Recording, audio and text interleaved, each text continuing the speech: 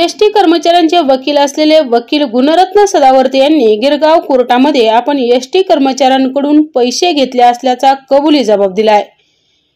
वकील गुणरत्न सदावर्ते यांच्या विरोधात राज्यातील विविध पोलीस ठाण्यात गुन्हे दाखल आहेत. त्यामुळे गुणरत्न सदावर्ते यांच्या अडचणीत दिवसेंदिवस वाढ होताना दिसतीये. एस टी कर्मचाऱ्यांकडून गुणरत्न सदावर्ते यांनी पैसे घेतले होते आणि त्या पैशातून मालमत्ता गाडी खरेदी केली. या प्रकरणाचा तपास करण्याकरता पोलीस कोठडीची मागणी सरकारी वकिलांतर्फे करण्यात आली होती.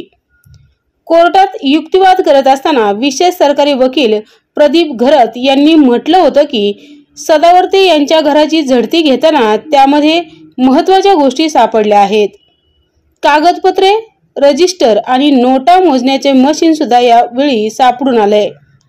यावेळी विशेष सरकारी वकील प्रदीप घरत यांनी हर्षद मेहता प्रकरणाचा निकाल सदावर्ते यांच्या प्रकरणात रेफरन्स म्हणून वाचून दाखवला. सदावर्ते यांनी स्वतः आपली बाजू कोर्टामध्ये मांडली. सदावर्ते यांच्या बाजूने कोर्टात कोणीच वकील नसल्याने त्यांनी आपली स्वतःची बाजू स्वतःच मांडली. ते म्हणाले पोलीस हे दाखवण्याचा प्रयत्न करत आहेत की एक मोठा घोटाळा केला आहे. मी तीनशे पाचशे रुपये घेतले पण ते फक्त कोर्ट कामकाजा करता घेतले. एवढे कमी पैसे कोणताच वकील घेत नाही. मी अत्यंत कमी पैशात काम केलं असं वकील गुणरत्न सदावर्ते यांनी म्हटलंय. त्याचबरोबर जप्त केलेली कागदपत्र म्हणजे वकालतनामा आहे. माझ्या प्रकरणात हर्षद मेहता प्रकरणाचा दाखला दिला गेला आहे हे अत्यंत दुःखद असून माझे सासू सासरे स्वातंत्र्य सैनिक आहेत. गाडी घेतली त्याची नोंद आर टी ओमध्ये आहे. गाडी घेण्याकरता पैसे दिले ते ऑनलाईन दिल्याचे पुरावे आहेत.